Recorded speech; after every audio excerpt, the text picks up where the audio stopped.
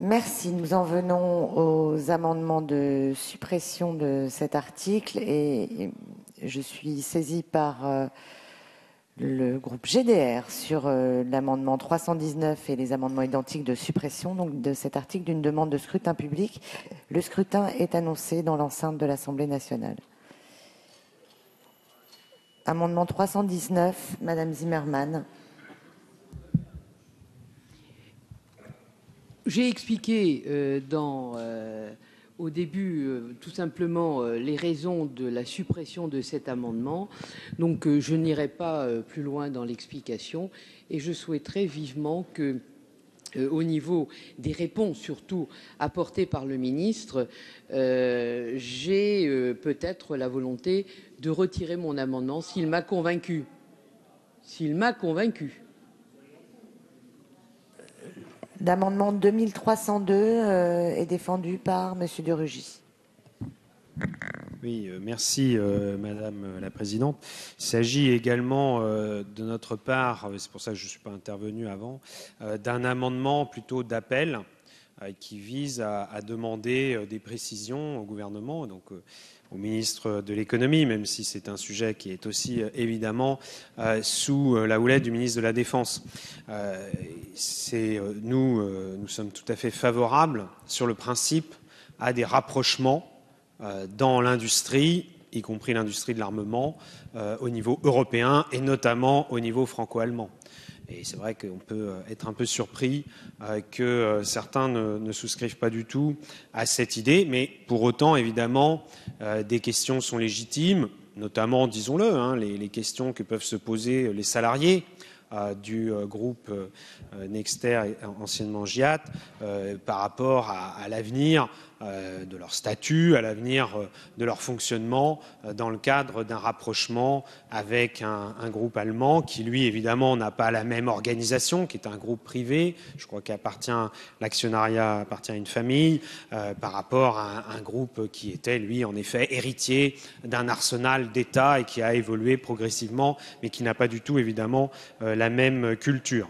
Et donc, euh, encore une fois, si nous souscrivons à l'objectif qui est celui euh, d'un rapprochement franco-allemand qui offre des perspectives industrielles à terme plus intéressantes que d'être euh, essentiellement dépendant des commandes de l'État français, euh, il est euh, nécessaire, Monsieur le Ministre, que vous puissiez nous éclairer sur les garanties qui entourent ce projet. Et enfin, le 2474, Monsieur le Président Chassaigne. Nous proposons avec cet amendement que notre Assemblée s'oppose au transfert au secteur privé de la majorité du capital de GIAT et de ses filiales. Nous sommes en effet très défavorables au projet Kant de privatisation de l'entreprise euh, qui prévoit la fusion avec la société allemande Gross Maffei Wegmann au sein d'une nouvelle société basée aux Pays-Bas. La création d'une nouvelle société pose évidemment la question du devenir des ouvriers sous décret et des fonctionnaires détachés. Il faut bien en parler mais elle nous interroge aussi sur l'avenir de notre industrie de défense. L'industrie de la défense constitue une part de notre outil de défense. Le rôle de la Direction générale de l'armement comme architecte de cet aspect de la défense nationale constitue aussi un élément important. La vocation de l'industrie de défense est de contribuer à garantir la souveraineté nationale. Cette industrie vit des investissements réalisés par la nation pour sa défense elle s'organise autour des programmes lancés au profit de nos armées et elle dépend des autorisations politiques pour ses exportations. Aujourd'hui, l'empreinte nationale sur les marchés reste très forte et c'est normal puisque les politiques de défense sont arrêtées au niveau national. Il n'est en effet, ça a été dit, pas facile de construire un marché européen dans la mesure où il n'y a pas de politique européenne de défense. De notre point de vue, Appeler à une telle restructuration est voué à l'échec face à des marchés aussi multiples et protéiformes que les marchés européens. Vous dites que ce projet est dicté par l'intérêt national. Nous pensons qu'il est avant tout, en ce qui nous concerne, dicté par un rapprochement capitalistique et une alliance financière. Les fondements de la nouvelle société la rattachent non pas aux commandes nationales, mais aux exportations. Cela vient d'être dit et redit euh, par euh, les intervenants précédents. Certes, l'exportation d'armement a toujours existé, et je dirais qu'elle est légitime. Mais n'oublions jamais qu'elle relève de la décision politique. La règle reste l'interdiction des ventes d'armes, sauf dérogation accordée par l'État. De manière évidente, on ne peut pas vendre n'importe quoi à n'importe qui et en tout temps, l'actualité nous l'a rappelé récemment. Par ailleurs, l'exportation ne saurait être envisagée comme la réponse à tous les problèmes, notamment celui de la réduction des marchés européens et français, d'autant plus que l'expérience montre que l'exportation s'accompagne de transferts de technologies et qu'elle peut susciter l'émergence de nouveaux concurrents dans des pays où les budgets de défense sont en forte croissance ou supportés par une volonté nationale plus farouche qu'en Europe. Soulignons en outre que les grands groupes ont externalisé beaucoup de leurs fonctions industrielles et s'appuient sur un tissu de petites entreprises qui irriguent l'ensemble du territoire national. Ces entreprises ont cependant des trésoreries fragiles et elles n'atteignent pas la taille critique qui leur permettrait de surmonter plus facilement les éventuels à coûts de charge. Dans le contexte économique actuel, les sous-traitants souffrent énormément. Lorsque le ministère a pris l'initiative de ce partenariat en encourageant l'externalisation, les grands groupes se sont inscrits dans cette démarche et ont soutenu leurs fournisseurs par différents moyens. Cela étant, la fragilité du tissu industriel des PME est indéniable et la politique des exportations contribue à l'accroître par la voie des délocalisations. J'ai exprimé ici en quelques mots les doutes que nous avons sur la pertinence du projet Kant. L'industrie de défense nationale d'abord, mais européenne ensuite, est l'héritière des efforts consentis par les États européens pour disposer d'une industrie de souveraineté. Dans un contexte de baisse des moyens alloués à la défense, de baisse des commandes, quel avenir préparons-nous à notre industrie de défense? Quelles menaces pèsent sur l'emploi et les savoir-faire? Quel peut être le sens d'une libéralisation du marché de l'armement alors que ce marché doit demeurer tributaire de choix politiques et diplomatiques? Nous n'avons, pour notre part, pas été rassurés par les réponses apportées jusqu'à aujourd'hui à ces différentes interrogations, notamment en l'absence de politique de défense européenne, parce que se pose la souveraineté des États. Aussi, nous demandons une nouvelle fois le retrait de cet article. Euh, oui, attendez, attendez. D'abord, je demande l'avis de la rapporteure. Merci Madame la Présidente. Je vais essayer de, répondre aux interrogations en revenant sur quelques points, en étant le plus précis possible, sachant que le ministre complétera. Euh, tout d'abord, sur le plan technique, j'ai entendu notamment de la part de notre collègue André Chassaigne qu'il s'agissait d'un transfert au secteur privé. C'est faux c'est faux. Nous sommes dans une opération où on constitue une société nouvelle. Euh, société nouvelle à laquelle l'État apporte 50% des parts et ces 50% restent publics intégralement. Donc on n'est pas dans, un transfert, il n'y a aucun transfert, il n'y a aucune cession au privé, cher André Chassaigne. Je veux bien le répéter autant de fois que vous le souhaiterez pour vous faire plaisir, mais techniquement, ça n'est pas de cela dont il s'agit. De la même façon, toujours pour André Chassaigne, il ne s'agit pas d'une société. On s'associe à un partenaire privé, d'accord, qui va détenir 50% des parts de la société nouvelle ce partenaire privé n'est pas, comme vous l'avez dit, euh, une société financière, c'est une famille. C'est une famille et je rappelle quand même que ici nous sommes favorables à ce que des familles, à ce que des actionnaires soient des personnes privées, soit des familles, et nous préférons de loin un actionnariat familial, un actionnariat de personnes physiques à des sociétés financières dont on sait ce, ce dont il s'agit.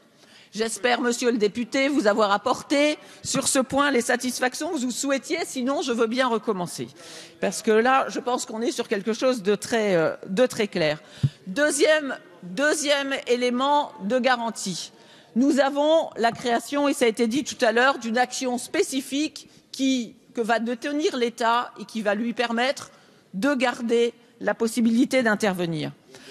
Troisièmement, euh, la situation actuelle, elle a été euh, décrite notamment par euh, Monsieur Lelouch tout à l'heure, mais c'est et par Patricia Adam qui l'a dit également, c'est la situation actuelle de cette industrie qui aujourd'hui euh, pose problème. C'est le statu quo qui nous, qui nous emmène dans le mur. Il faut effectivement réagir et je crois qu'il faut considérer cette alliance comme une vraie chance pour Nexter, comme une vraie chance pour l'industrie française, dont on ne sait pas ce qu'elle deviendrait si elle restait seule et si elle ne trouvait pas de partenaire. Et je, pense que ce que nous attendons, c'est une belle histoire. Airbus a été euh, cité. Moi, je reprendrai aussi l'expression euh, de euh, Monsieur Lelouch, qui parlait de la création d'un pôle européen de défense. Ça a été repris par divers collègues de la Commission de la défense, et je pense que c'est de ça dont il s'agit. C'est ce pari qu'il faut, euh, qu'il faut gagner. Et je crois enfin qu'effectivement, il est temps de nous unir si on ne veut pas disparaître, parce que c'est quand même de cela dont il s'agit. Et enfin, pour répondre à une préoccupation qui a été exprimée euh, concernant la position du gouvernement allemand et de Sigmar Gabriel en particulier. Il est clair qu'il euh, y a une tradition allemande, elle a été évoquée, mais je pense que le ministre le dira mieux que moi. Il y a des assurances qui ont été données et Sigmar Gabriel s'est récemment exprimé en faveur d'une politique européenne de défense et en, faveur de ce partenariat qui, je le rappelle, sur les dispositions et sur la politique commerciale, il y a des garanties qui ont été obtenues chaque groupe continuera d'avoir sa propre politique commerciale et il y aura une action commune pour les actions commerciales qui concerneront les produits nouveaux. Donc je pense que globalement, les conditions que vous avez, euh, vous avez demandées sont remplies. Donc avis défavorable, Madame la Présidente, sur les amendements de suppression. Merci, Monsieur le Ministre. Merci Madame la Présidente. Je vais essayer de répondre en effet aux différentes questions qui ont été soulevées. Euh, par les uns et les autres dans la discussion générale comme dans les amendements de suppression. D'abord, pour revenir peut-être, euh, Madame la députée Louvagie, sur euh, l'idée qu'il puisse exister un préalable en quelque sorte de consolidation française avant d'aller vers une telle opération. Je crois que ça a été tenté à plusieurs reprises par le passé et ça a échoué. Avec Thales d'une part, qui n'a aucune synergie avec Nexter, je vous le dis, euh, aucune. Et donc c'est une consolidation qui est purement théorique mais qui a d'ailleurs échoué. Et on peut procéder à des mariages forcés dans la vie des affaires, ça conduit souvent au sinistre. J'ai eu l'occasion de le dire en commission spéciale. En l'espèce, nous, avons décidé de ne pas poursuivre cette voie parce qu'elle n'avait pas de sens. D'autres négociations ont eu lieu avec euh, Renault Trucks, Volvo. L'actionnaire, là aussi, a refusé d'aller en ce sens. Il n'y avait pas d'autre consolidation nationale que celle-ci. Euh, qui aurait pu être un préalable à cette opération de consolidation européenne. J'ajoute à cela qu'en effet, il s'agit d'une opération de rapprochement entre deux égaux, environ 800 millions de chiffre d'affaires, 300 salariés. Alors on peut être pessimiste sur l'avenir, ça n'est pas euh, le préalable, ça n'est pas le préalable en général de l'attitude que nous devons avoir et, que, et donc celle que nous avons eue sur ce projet de loi. Mais donc, en effet, on part à armes égales en considérant que nous allons gagner les uns et les autres en nous associant. Mais si nous avions pu aller vers une telle consolidation française, il y a fort à parier que la consolidation européenne n'aurait pas eu lieu. Parce que l'actionnariat de KMV pose comme préalable l'idée d'avoir une fusion entre égaux. Et donc, en tout cas, je peux vous dire qu'aujourd'hui, il n'y avait pas d'option de consolidation française. On a eu ce débat avec votre collègue, M. Fromion, en commission spéciale, mais je crois que ça, ça n'est pas une idée qui, qui, tient la route.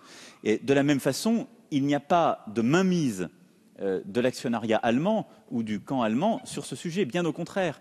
Et je dirais que si on regarde cliniquement ce qui est en train de se faire, on a un actionnariat familial. Moi, je ne le qualifierais pas, mais je veux dire que les actionnariats familiaux, nous avons par le passé nous-mêmes euh, fusionné des groupes français qui avaient de l'actionnariat familial avec des groupes publics. Ils durent moins longtemps que les pouvoirs publics la plupart du temps, ou moins longtemps que l'État. Et donc on a un actionnaire allemand familial avec un actionnaire in fine français qui est public. Et donc je ne vois pas en quoi il y aurait une mainmise allemande sur ce sujet. Honnêtement, je pense qu'il n'y a rien qui permet de le dire. Au moment où nous nous parlons, il y a deux entités qui ont la même profitabilité, le même nombre de salariés, un chiffre d'affaires comparable, qui vont se rapprocher, je vais revenir sur les modalités, dans une structure commune, avec une famille allemande qui est actionnaire d'un côté et l'État français de l'autre. Et donc je crois que rien ne permet de dire qu'il y aurait une mainmise. Alors, sur les, conditions, euh, en tout cas les, modalités qui ont été soulignées par monsieur le député Lelouch, je crois qu'en effet, les coopérations euh, franco-allemandes ont montré qu'elles pouvaient produire des effets positifs. Vous avez en, creux, vous êtes revenu en creux sur le rapprochement, enfin, l'opération BAE, et je crois que, Monsieur le ministre, vous êtes aussi revenu sur ce, sujet. Bon, sur cette affaire, il ne s'agit pas de pleurer sur le lait répandu. Ce n'est pas un secret de dire que euh, le gouvernement français était plutôt favorable à cette opération, qui a eu une, il y a eu une sensibilité, non, résolument plus tôt, mais il y avait là-dessus, il y avait des incertitudes qui existaient. Il est vrai que euh, la chancelière a émis des réserves qui ont conduit pour euh, l'équilibre, en tout cas, de la société, à ne pas aller en ce sens, sachant que toutes les hypothèques qui existaient sur l'opération euh, BAE n'avaient pas été levées. Il faut bien aussi reconnaître ce point. Néanmoins, sur ce qui est du partage des responsabilités, je vais être là parfaitement clair et peut-être tout de suite expliquer comment on va procéder, ce qui permet de répondre en fait à vos, deux questions, parce que dans vos, préalables, il y avait la même préoccupation.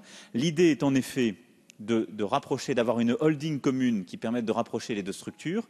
Cette holding se trouverait aux Pays-Bas, comme c'est le cas pour euh, Airbus, comme c'est le cas pour euh, euh, Renault, l'alliance Renault-Nissan. Pourquoi? Pour des raisons de neutralité fiscale. Là-dessus, je veux être très clair. Il ne s'agit pas, pas d'un paradis fiscal. Il s'agit d'éviter la double taxation sur les dividendes, ce qui est un point important quand on a une holding commune. Et ce sont les règles de gouvernance qui permettent, ce qui avait présidé d'ailleurs à ce choix pour euh, Airbus, qui permettent de respecter un équilibre précisément des structures en présence.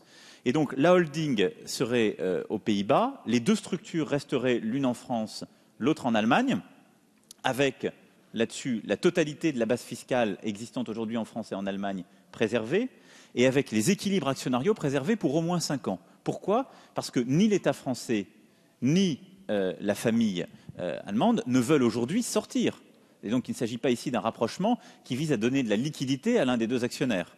En aucun cas. Et donc la holding aurait pour fonction d'arrêter la stratégie commune et la politique commerciale. Donc je reviendrai sur les sujets export, mais elle aurait ensuite 100% des, deux filiales. Et donc le partage des responsabilités entre la holding et les filiales se ferait selon ces modalités, avec euh, un respect euh, complet euh, des logiques industrielles au niveau de, des filiales. Les conditions économiques seraient donc celles que je viens d'expliquer. Alors j'ai eu l'occasion en commission spéciale de plusieurs fois m'exprimer sur en effet la position allemande que vous avez rappelée en matière d'export. La première chose, c'est que je tiens à dire que la position allemande est d'ores et déjà celle qui préside aux exports de KMV. Et euh, vous avez toutes et tous pointé le fait que KMV n'était aujourd'hui pas dans une situation déraisonnablement défavorable par rapport à Nexter. C'est le cas. Et donc, je ne vois pas pourquoi les Allemands changeraient leur position d'export. Il y a une sensibilité qui existe, que vous avez très justement rappelée. Elle existe. Elle existe elle existe. Je reviendrai ensuite sur une, liste de pays, mais elle ne changera pas avec ce rapprochement. C'est aussi celle avec laquelle nous avons une discussion constante, euh, en particulier avec mon collègue Zygmar Gabriel, quand il s'agit des exportations d'Airbus.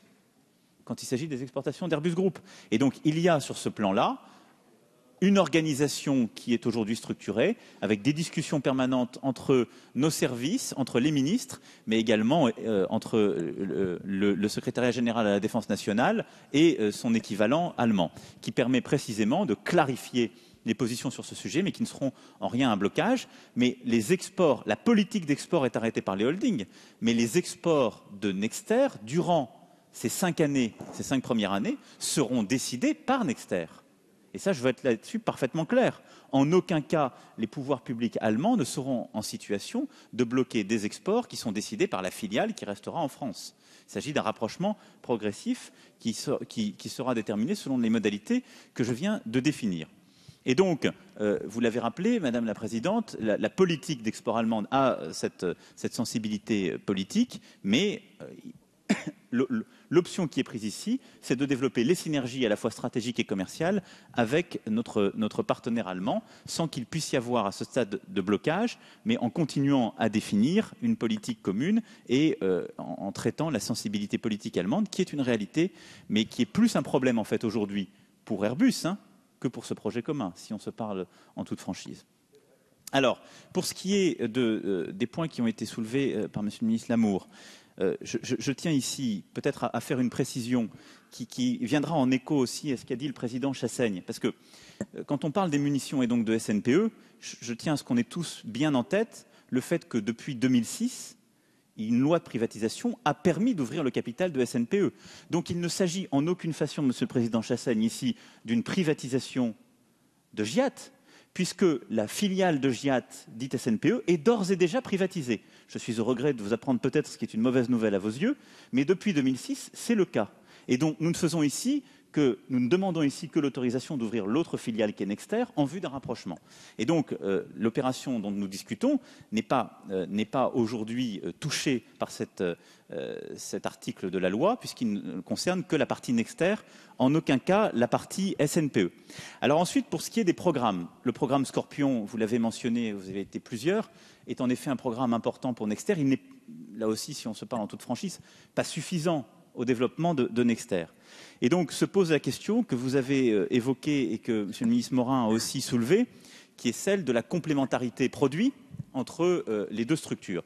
Et là, au-delà des, complémentarités évidentes qui existent, et donc de la non-superposition entre une artillerie qui est plutôt chenillée une artillerie à roues, vous l'avez vous-même mentionné, quand on regarde, et c'est d'ailleurs ce qui est aujourd'hui examiné hein, dans le cadre de la préparation de l'opération par les deux sociétés, quand on regarde la complémentarité géographique, on voit bien que euh, VBCI et les boxers ne, sont pas aujourd'hui, ne font pas l'objet des mêmes marchés au niveau international et ni même des mêmes doctrines d'emploi.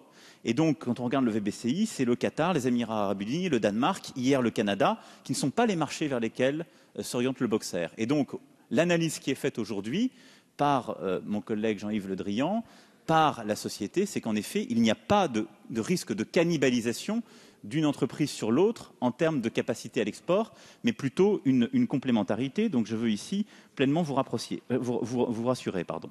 Pour ce qui est des conditions de, rapprochement, l'idée est de continuer durant trois mois euh, donc le, les expertises techniques, d'avoir trois à cinq mois de, négociations, puis trois à quatre mois devant les régulateurs. Ensuite, je le disais, c'est un, rapprochement au niveau de la holding et pendant cinq ans, une stabilité actionnariale de part et d'autre qui est, euh, qui est prévue.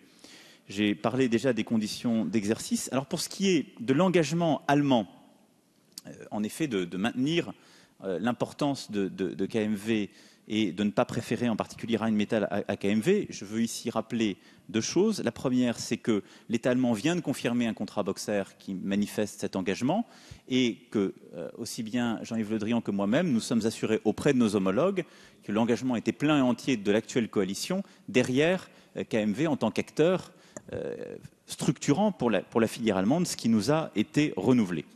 Et je crois que cela permet de répondre, ce faisant, au, au point euh, qui avait été mentionné par Monsieur le député Bridé.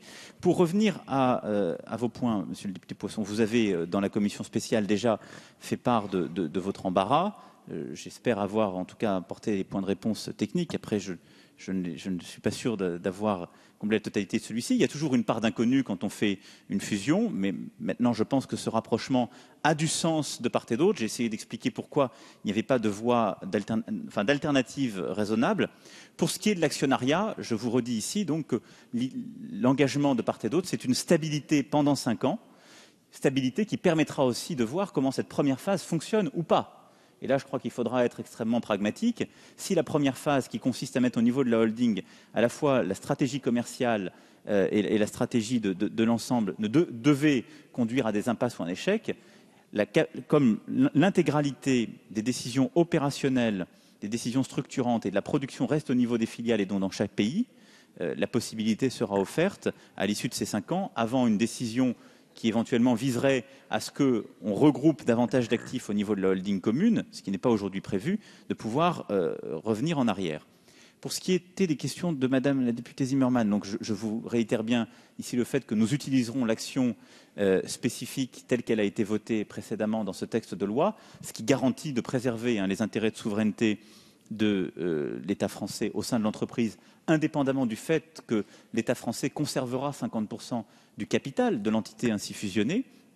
Le siège sera aux Pays-Bas, comme c'est le cas, donc je le disais, de, la filiale, de la holding commune Renault-Nissan ou Airbus Group, avec exactement les mêmes garanties que celles que je viens d'évoquer en matière fiscale comme en matière de, gouvernance. Et cette opération n'a pas d'impact sur le budget de la défense.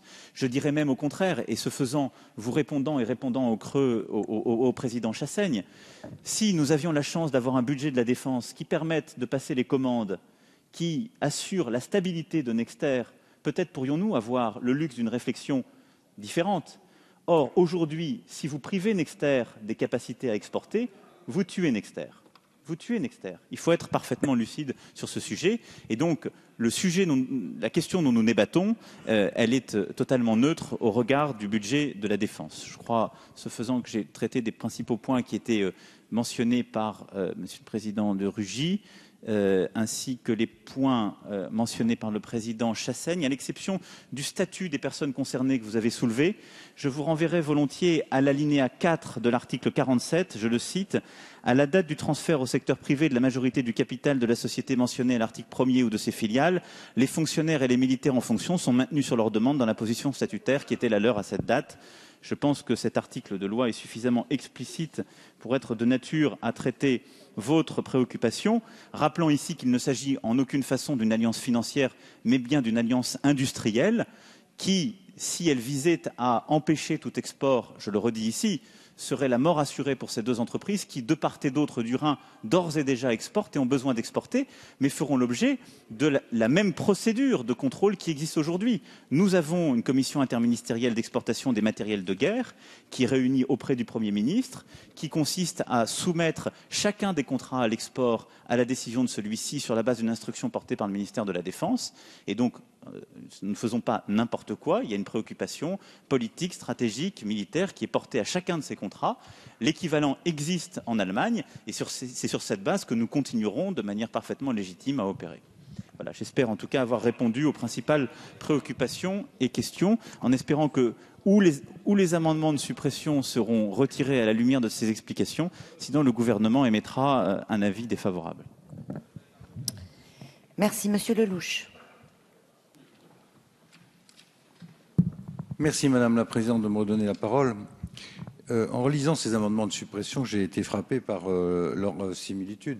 Monsieur Touré tout à l'heure a fait de l'ironie sur les armures et le Moyen Âge en se, moquant un petit peu méchamment de, de l'amendement rédigé par je ne sais qui à l'UMP. Les, les, trois textes se rejoignent sur une idée, c'est qu'il ne faut pas privatiser, il ne faut pas privatiser les trois mots privatisation des intérêts vitaux, privatisation des intérêts d'armement. On trouve exactement les mêmes expressions dans les trois textes venant euh, des écologistes, euh, de l'UMP, euh, des communistes. or, ça n'est pas le sujet. Et, même si Madame la rapporteure a, fait, a utilisé ses meilleurs efforts d'avocate pour expliquer que quand une entité publique apporte 50% à une entité privée, ça ne fait pas une privatisation, on en discutera une autre fois. Non, euh, ce que je trouve intéressant, c'est l'aveu la, du ministre. Et moi, je commence à devenir un vrai macronien. Euh, parce qu'il y a une certaine fraîcheur dans votre vérité, monsieur le ministre. Quand vous dites, et, c'est bien, vous avez dit, on a essayé de me tuer pendant ce débat, ensuite euh, je me suis trompé, et là vous dites quelque chose de très très très juste. Vous dites, si on avait de l'argent, on n'aurait pas besoin de faire tout ça. Si on avait, si on avait le budget de défense, on ne serait pas dans cette difficulté. L'ennui, c'est que c'est quand même vous qui êtes en charge des finances de l'État. Mais attendez, attendez, laissez-moi, laissez. En, matière d'industrie de défense, en matière d'industrie de défense, peu importe l'enrobage juridique. La seule chose qui compte, ce sont les commandes publiques. Si vous avez des commandes publiques, vous pouvez avoir des actionnaires comme Boeing ou pas d'actionnaires comme en Russie, vous avez une industrie d'armement. S'il n'y a plus de commandes publiques, vous n'avez plus d'industrie d'armement. Or, le problème de notre malheureuse République, et c'est ce qui va nous amener tout à l'heure à parler de votre fameuse société de projet, et là, je serai moins admiratif, Monsieur le Ministre, je vous dis d'avance, c'est que comment est-ce qu'on fait pour avoir une industrie de défense aéronautique, terrestre, navale, plus le nucléaire, avec le chiffre magique de 31,4 milliards? Comment est-ce qu'on fait pour présenter un budget de défense dans lequel il vous manque déjà 3,5 milliards de reports, c'est-à-dire de factures impayées, 1,2 milliard de surcoût à l'exportation et 2,3 milliards de recettes exceptionnelles qui ne sont pas en rendez-vous. Alors effectivement, après, on est en position de demandeur pour des alliances. Mais vous savez ce qui se passe, Monsieur le ministre, et c'est ça qui est grave. Et c'est ça le danger. L'unique et seule incertitude que je me pose sur cette alliance, c'est l'évolution du budget allemand. Parce que si vous regardez attentivement les deux budgets de défense dans les années qui viennent, l'Allemagne, pour la première fois depuis la Seconde Guerre mondiale, va avoir un budget de défense supérieur à celui de la France. Et comme en France, 25% de notre budget est consacré aux armes nucléaires, le budget conventionnel de l'Allemagne va être plus fort, y compris dans les secteurs où ils excellent, donc l'armement terrestre. Donc la seule inconnue, Monsieur le Ministre, c'est pas le rapprochement, je suis pour, c'est pas le partage des rôles, c'est même pas la politique à l'export, parce que ça c'est un rapport de force politique entre nous et Berlin ce sont les commandes publiques.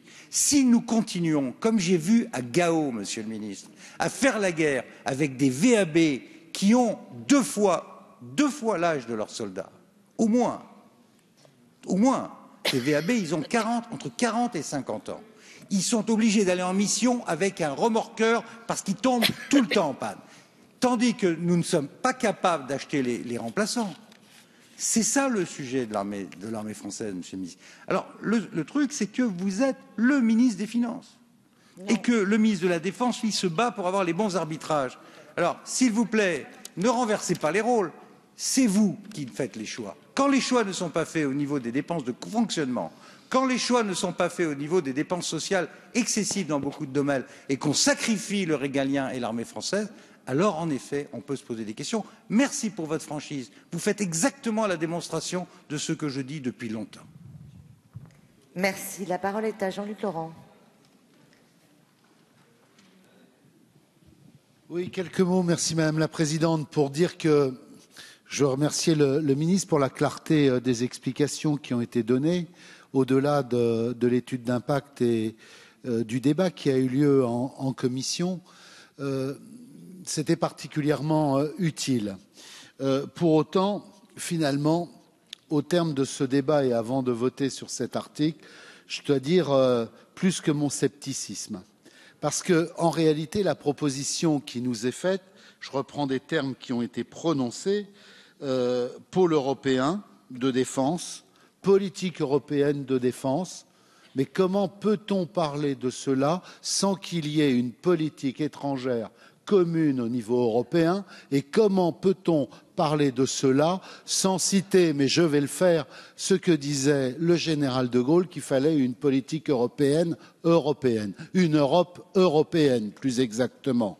Et au regard de ce qui est euh, proposé, on est à côté de la plaque ou alors on nous vend quelque chose qui ne correspond pas aux objectifs qui, qui doivent être partagés au niveau européen. Commençons par rechercher une politique indépendante au niveau européen, une politique européenne qui soit euh, euh, l'apanage des nations d'Europe, des pays d'Europe, avant de parler de politique de défense qui est au service d'une politique commune étrangère. Monsieur le ministre, avant de vous redonner la parole, euh, Monsieur Bridet, Monsieur Amir Chahi et Monsieur Chassaigne sont inscrits. Donc, soit vous reprenez tout de suite la parole.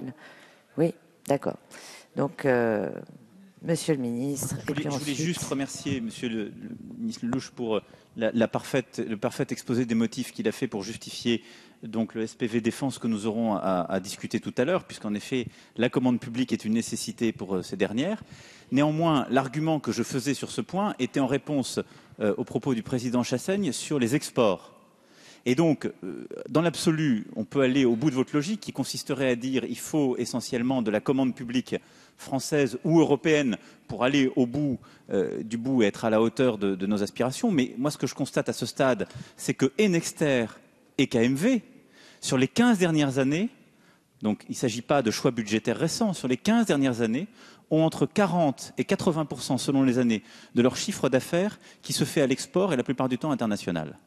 Et donc, ce rapprochement ne vient changer en rien cette réalité. Je dis simplement que si on décidait d'avoir des états d'âme sur l'export à l'international de ces sociétés d'armement, on les tuerait, puisqu'on parle de environ la moitié de leur chiffre d'affaires de part et d'autre. Donc mon argument visait juste la, capacité à exporter en général de ces deux sociétés. Quant à la commande publique, euh, on, peut en effet le déplorer et vouloir euh, avoir une, une, dépense publique militaire qui se compare à celle des États-Unis. Ce que je vois aujourd'hui, c'est que la dépense publique militaire française est incomparable avec ses voisins européens, et vous le savez bien, est incomparable avec ses voisins européens. Mais si, elle est incomparable en Europe continentale, vous le savez bien. Et non, et, je me dois, et je me dois ensuite une, honnêteté, euh, Monsieur le Ministre, c'est que les finances sont euh, à la main de mon collègue Michel Sapin et que je, me contente de l'économie, donc euh, je ne suis là que dans mon rôle et, je ne peux pas être accusé d'être Léon Tonti Mourou-Ménos. Monsieur Bridet. Oui, merci Madame la Présidente. Très rapidement, je pense qu'il faut rejeter une chimère ce, n'est pas une industrie nationale d'armement ne pourra pas tenir par les seules commandes publiques de l'État français. Ce n'est plus, ce n'est plus ce qui se passait il y a 50 ou 60 ans.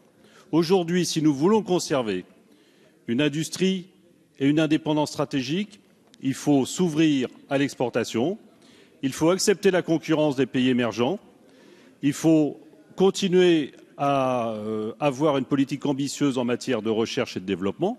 Hein, c'est le cas dans la LPM. Et donc, il faut qu'on ait des rapprochements avec des confrères, avec des, industries européennes pour justement développer des pôles de, dimension internationale et de stratégie euh, internationale. Donc ça, c'est la première chimère. La deuxième chimère, euh, moi, je veux bien qu'on nous donne des leçons. Mais aujourd'hui, avec la loi de programmation militaire, avec euh, le livre blanc, etc., on a reprécisé des ambitions stratégiques de nos armées et de notre euh, politique diplomatique. Ça n'a pas toujours été le cas. Et le ministre Le Drian a fait des choix, a précisé, a passé des commandes au niveau de, notre, de notre, armement, des commandes qui n'avaient pas été faites pendant des années, qui avaient été reculées. Et pourtant, pendant tout ce temps-là, Monsieur Lelouch, notre, budget de l'armement était en déficit. Il a fallu augmenter. Il se creusait de 500 millions tous les ans sur les projets d'équipement. Donc pas de leçon à avoir. Hein. Réaffirmons notre stratégie, réaffirmons notre ambition et faisons des pôles industriels de développement et de rayonnement européen et mondial. Merci. Merci, Monsieur Amir Chahi. Merci, Madame la Présidente. Moi, je voudrais exprimer euh, quelques réserves et poser des questions même si euh, la présidente de la commission de la défense m'a déjà éclairé sur, euh, certains points. Euh, moi, j'entends bien qu'on préserve, et c'est bien normal, et qu'on limite largement et qu'on encadre strictement les exportations d'armes. le ministre l'a rappelé, il y a des procédures très strictes pour ça, et pour cause, puisque le principe, quand même de base, l'opinion publique ne le sait pas, ce n'est pas inutile de le rappeler, c'est que les exportations d'armes sont interdites, sauf exception. Et c'est ces, exceptions qu'il convient euh, de discuter, de débattre. Et vous conviendrez avec moi que dans une loi comme la vôtre, qui a son importance, qui porte sur euh, la croissance, le développement, pour reprendre même vos termes, la libération de certaines énergies, on discute d'enjeux aussi stratégiques, me paraît malvenu. Je le dis, en tout cas, je doute que dans une loi de ce type, on discute un peu au débeauté d'enjeux si stratégiques et si lourds. Je comprends que vous défendiez euh, cet amendement, vous le faites sans doute avec talent, mais ça nécessite quand même qu'on prenne un peu plus de temps pour des enjeux si lourds. Je m'explique. Par exemple, on est aujourd'hui engagé et sur, un, front euh, incertain, mais souvent seul et avec efficacité. Euh, je pense notamment à certains pays en Afrique, en Afrique subsaharienne, au Proche et au Moyen-Orient, euh, au nord de l'Irak en particulier, vous le savez. Et dans notre stratégie globale, je n'ai pas senti d'ailleurs, tout le monde l'a reconnu ici, un grand soutien de nos amis européens. Alors moi, je veux bien et je suis pour, au nom de l'idée que je me fais de l'Europe fédérale, d'union renforcée, et en, particulier avec le couple franco-allemand, qu'on essaie des rapprochements. Mais je voudrais aussi qu'on ait une discussion sérieuse sur la façon dont les Allemands, aujourd'hui, nous aident ou pas sur le théâtre des opérations.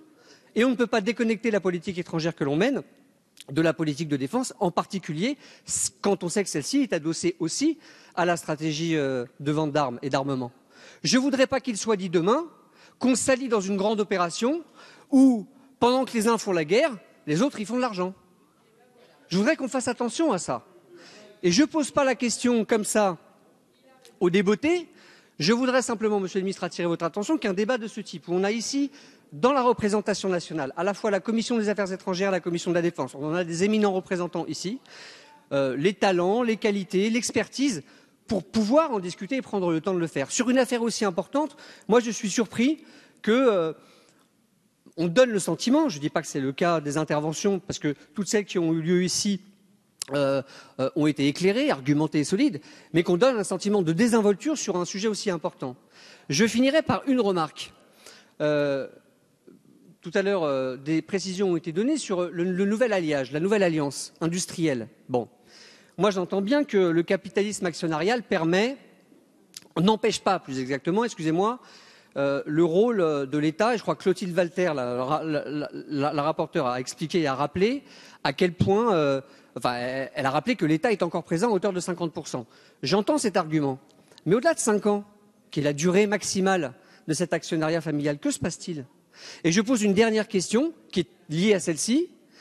Euh, même si l'État préserve ses capacités de veto, de définition stratégique euh, et de vente et d'exportation, que se passe-t-il demain au cas où cette entreprise, pour partie privée, pour partie publique, mais pour partie privée, au-delà des cinq ans, décide de restructuration, de délocalisation, de suppression d'effectifs pour y substituer de la sous-traitance à des entreprises qui ne seraient pas françaises? Ça pose des questions stratégiques.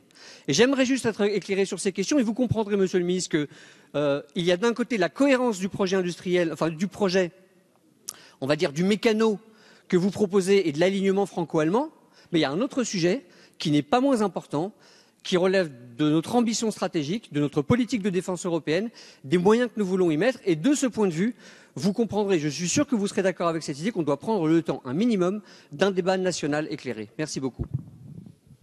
Merci, Monsieur Chassaigne. Oui, je ferai d'abord une observation que j'ai faite la semaine dernière, c'est qu'on ne peut pas répondre point par point dans la mesure où on n'a pas le temps qui nous est donné pour répondre. C'est complètement asymétrique. Donc je retiens, deux arguments seulement.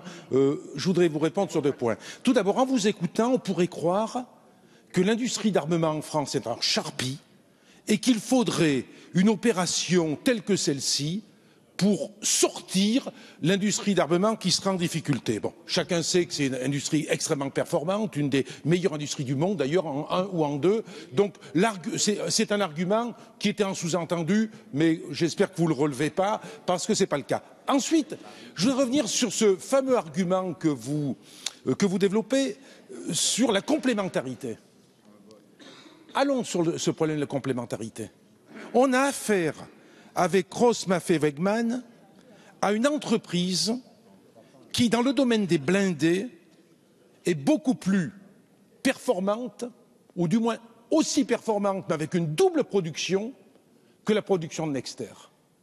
On a effectivement une entreprise qui ne euh, s'intéresse pas aux armes et aux munitions, c'est plus notre spécificité, donc on peut dire que dans ce domaine-là, il pourrait y avoir complémentarité. Mais derrière tout ça, avec cette fusion, parce qu'il s'agit bien d'une fusion, on peut bien jouer sur les mots, hein, avec cette fusion, c'est le maintien d'une production de blindés dans notre pays dont il est question. Donc allons pas dire, allons pas dire euh, que ça va régler des problèmes industriels et tout ça. On sait très bien que le plus fort des deux concernant la production de blindés, dans la mesure où là on a des productions qui sont euh, euh, au niveau des deux entités, ça aura des conséquences industrielles dans notre pays. C'est une chose qu'on ne peut pas nier. Monsieur Lamour.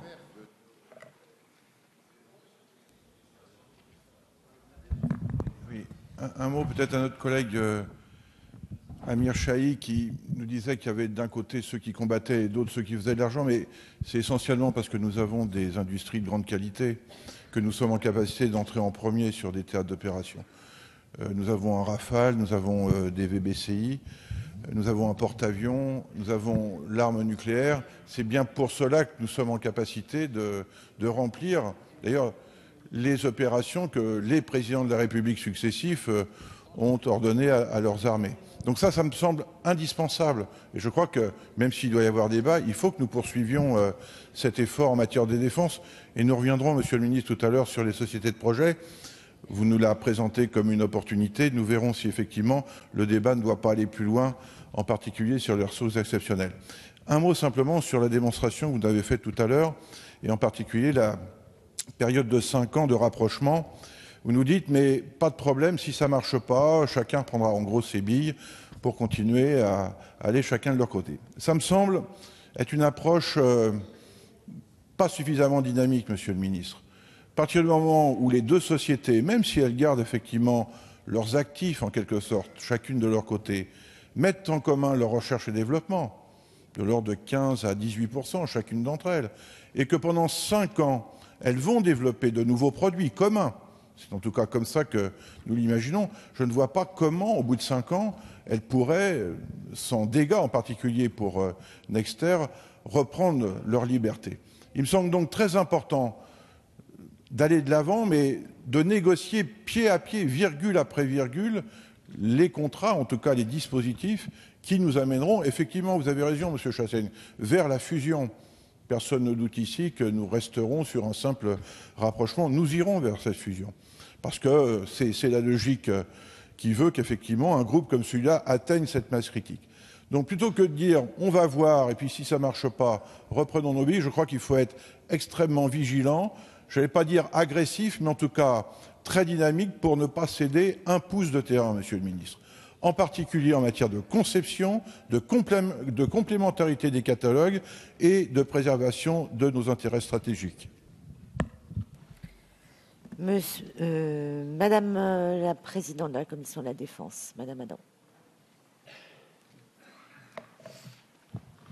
Alors, je voudrais d'abord euh, dire à l'ensemble de mes collègues que nous aurons un débat prochainement qui sera l'actualisation de la loi de programmation militaire. Donc ce débat sur la défense, s'il va venir, j'espère que vous serez aussi nombreux à venir en parler avec nous. Euh, en général, nous sommes trop peu nombreux quand on parle de ces questions de défense. Donc, euh, je vous invite à venir nous rejoindre lorsque nous l'examinerons. C'était un engagement euh, du ministre de la Défense. Il sera tenu et nous l'examinerons durant très vraisemblablement le deuxième trimestre, en tout cas avant l'été. Moi, je voudrais. je suis très surprise d'un certain nombre d'interventions de, de mes collègues. Pour une fois qu'on a un dossier qui nous permet d'aller de l'avant en matière européenne et en matière de défense, et surtout en matière d'industrie de défense, et, que toutes les précautions ont été prises. Elles ont vraiment été prises à la fois pour les salariés de comme ceux de KMW, qu'il y a l'accord de ces deux chefs d'entreprise. Ils sont venus l'exposer. Je vous invite à relire euh, l'expression euh, qu'ils ont pu avoir devant la commission de la défense, que même les salariés, Monsieur Chassaigne, ne sont pas défavorables, ils sont vigilants, bien évidemment, et ils ont raison de l'être. C'est normal. Mais en même temps, ils ont eu beaucoup d'assurance, ils le sont dans la loi tout simplement, mais ils le sont aussi par rapport à l'avenir de l'entreprise. Et l'enjeu, il est bien là. C'est l'avenir de cette entreprise de Nexter, comme celle de KMW, mais puisque nous sommes en France, parlons de Nexter. Si nous ne sommes pas demain, et demain c'est dans cinq ans, si demain nous ne sommes pas avec KMW la première entreprise européenne et dans le monde, et dans le monde, j'ose le dire, en matière d'industrie terrestre de la défense, nous disparaîtrons tout simplement, tout simplement. Et que ce n'est pas les budgets quels qu'ils soient, même européens, on a, Monsieur le ministre a recité les chiffres à l'export, on voit bien que ces entreprises vivent bien évidemment aussi de l'export. Je dirais à peu près pour la moitié de leur chiffre d'affaires et peut-être plus même dans les années à venir. Donc, nous aurons ces débats sur toutes les conditions, sur euh, l'Europe, sur la défense, sur l'actualisation de la loi de programmation militaire. Ne vous inquiétez pas, nous l'aurons. Et je voudrais simplement donner un exemple. C'est que l'Europe de la défense, elle ne se construit pas par des grandes invocations. Elle se construit pas à pas. Et aujourd'hui, un des meilleurs exemples que nous avons, c'est l'accord de Lancaster. Je le dis ici. Cet accord de Lancaster que nous avons avec la Grande-Bretagne avance et il avance bien. Et cet accord de Lancaster nous permet aujourd'hui, par exemple, de voir aujourd'hui les plus grandes entreprises en France et en Angleterre signer pour construire l'avion de demain. Et c'est ça l'Europe qui avance. Merci. La parole est à Christian Estrosi. Monsieur le ministre, je suis euh, assez surpris parce qu'à ce point de notre débat sur ce sujet extrêmement sensible, où je partage un certain nombre de remarques qui vous ont été faites, euh, vous avez euh, répondu vous-même à Pierre Lelouch il y a quelques instants de cela, très modestement, que vous n'étiez pas le ministre des Finances. en même temps, même s'il y a une petite part de compétences partagées, je le dis sous euh, le couvert de mon euh, collègue, l'ancien ministre de la Défense, Hervé Morin. Euh, il se trouve qu'entre ministre de l'Industrie et ministre de la Défense, il y a toujours eu une compétence partagée sur tout ce qui touche au financement de la recherche, de l'innovation, du développement, certes, mais sur la stratégie de l'industrie de défense, c'est une compétence propre, exercée par le ministre de la Défense et pas par le ministre de l'Industrie.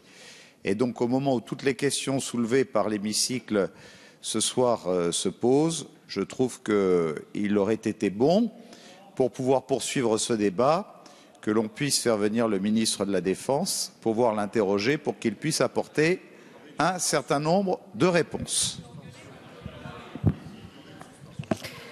La parole est à Nicolas Duic.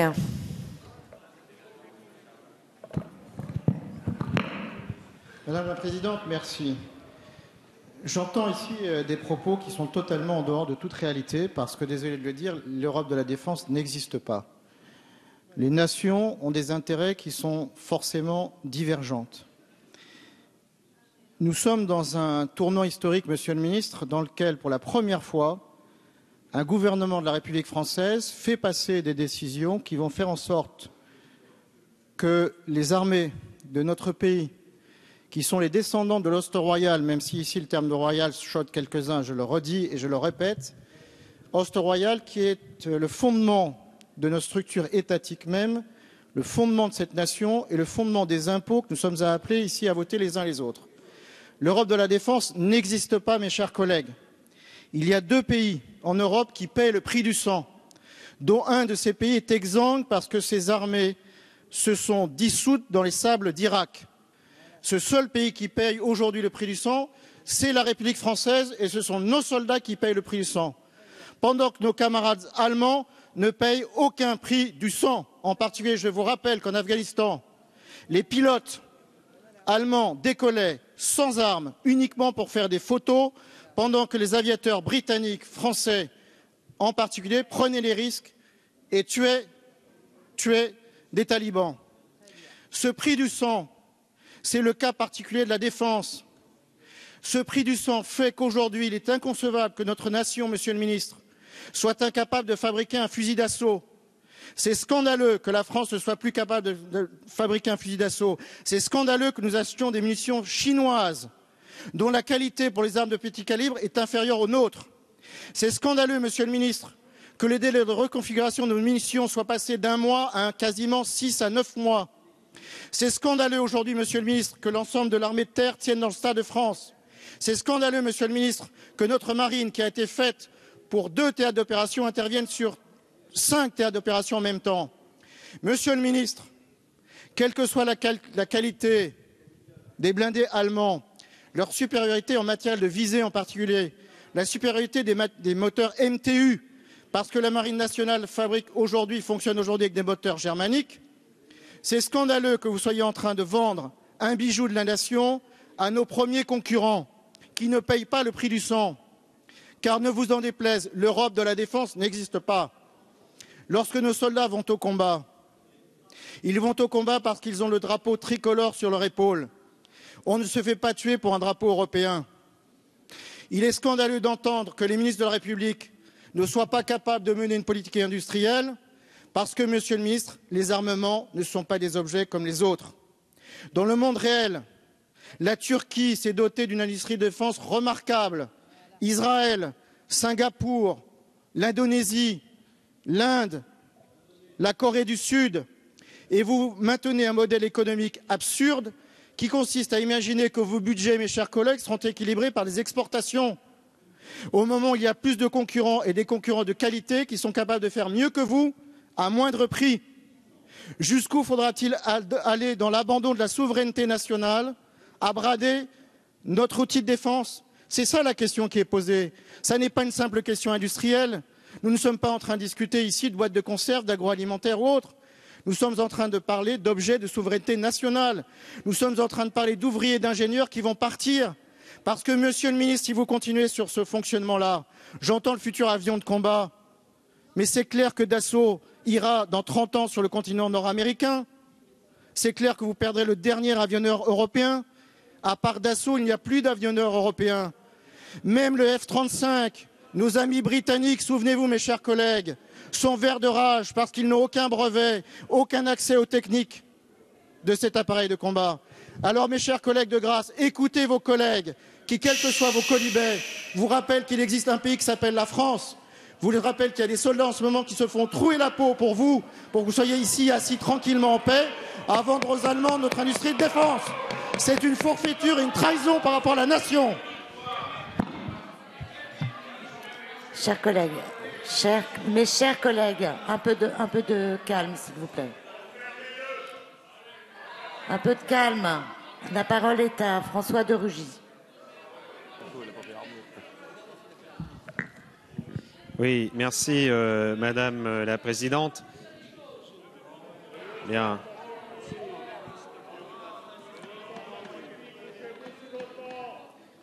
S'il vous plaît.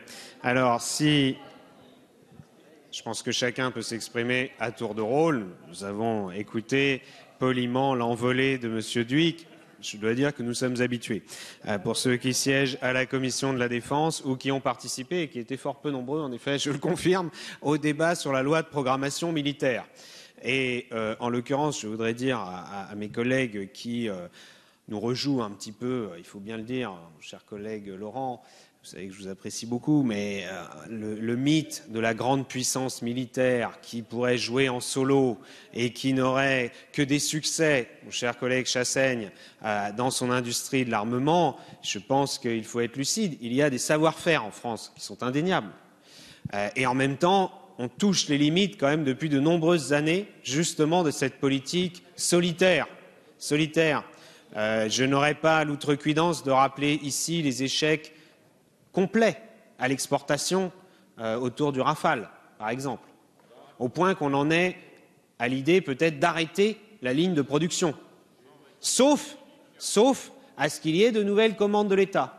Et on en revient à cette idée que les industries de défense françaises ne pourraient vivre que sur la base d'une fuite en avant dans les commandes de l'État. Et là où je serais en accord, c'est un point où je suis en accord avec euh, notre collègue Lelouch, c'est que cela amène à des choix qui font que l'on sacrifie un certain nombre de moyens de fonctionnement de nos armées utiles pour les interventions que nous menons. Alors on peut être contre certaines interventions, mais si on soutient, et c'est notre cas, l'intervention française au Mali, par exemple, je suis désolé de vous le dire, mais euh, le Rafale, euh, le porte-avions Charles de Gaulle, etc., c'est d'aucune aide hein, pour ce genre d'intervention. Ce n'est pas de ça dont on a besoin. Et en revanche, euh, sur le cas qui nous occupe, c'est pareil. Le Charles Leclerc, le Charles Leclerc, 800, 800 Charles Leclerc fabriqués et vendus, 400 en France, 400 sur un seul autre marché à l'exportation. Alors que le partenaire allemand dont on parle, lui, en a fait plus de 3000 et essentiellement à l'exportation. Je pense qu'il faut euh, au contraire se dire que l'Europe de la défense, ce n'est pas une incantation d'avoir l'Europe européenne ou je ne sais quoi, c'est la politique progressive, des choses qui se construisent pas à pas, souvent entre deux pays, parfois trois ou quatre. On a vu ce que c'était autour de la 400M. C'était pas, pas simple euh, d'avoir un avion de transport européen qui soit fait euh, par de, nombreux pays qui n'ont pas tous les mêmes cahiers des charges. Donc là, on a un projet concret de rapprochement qui sert les intérêts euh, de la France dans la mesure où justement elle ne sera plus seule et où, elle pourra, on pourra mutualiser les moyens pour avoir des projets communs, parce que évidemment le but c'est d'avoir ensuite des projets et des produits communs.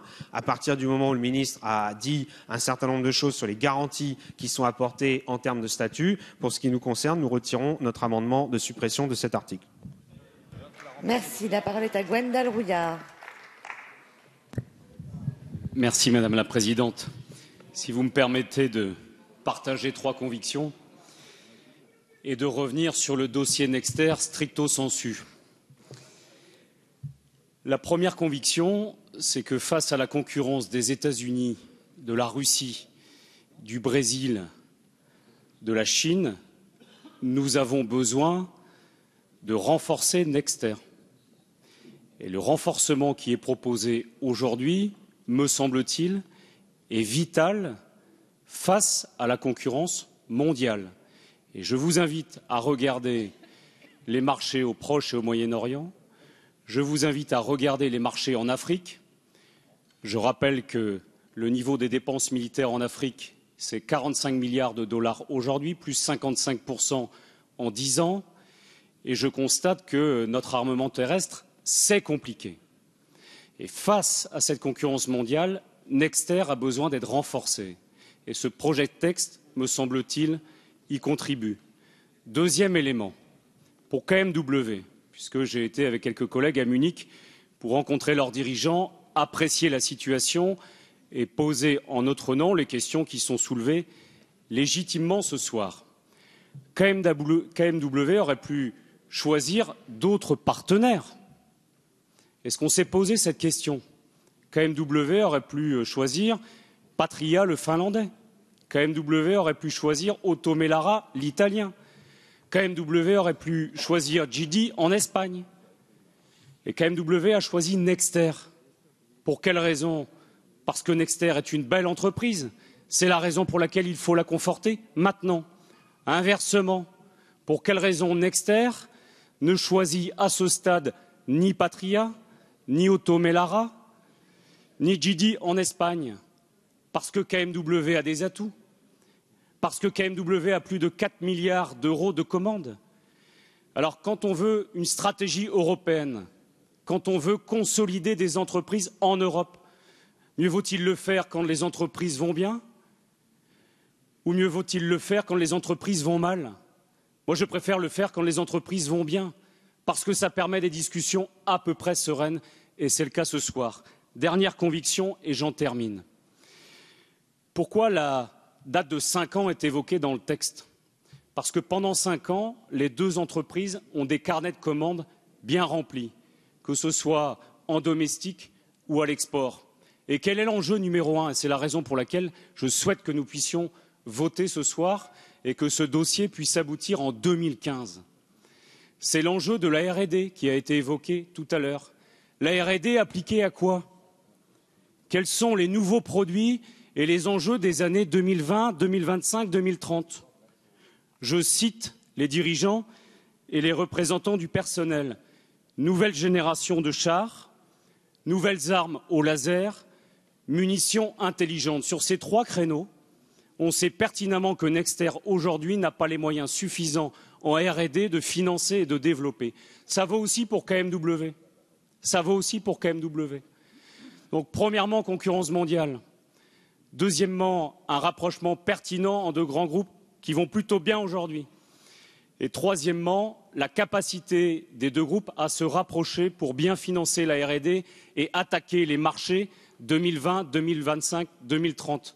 Voilà trois raisons, me semble-t-il, qui doivent nous inciter à assumer ce choix avec vigilance, exigence. Mais décidons maintenant le dernier mot. Les premières discussions, je le dis de mémoire, les premières discussions entre Français et Allemands ont démarré en 2006-2007. Parce qu'y compris sur les bancs de l'opposition, vous étiez déjà quelques-uns, et vous aviez raison, à souhaiter cette stratégie franco-allemande. Et vous aviez raison. Eh bien, le moment est venu de passer du discours aux actes et de voter l'article 47. Vive la France, vive l'Allemagne et vive l'Europe. Mes chers collègues, je vous propose de regagner vos places puisque nous allons procéder au scrutin. Vous êtes déjà exprimé, Monsieur Duc.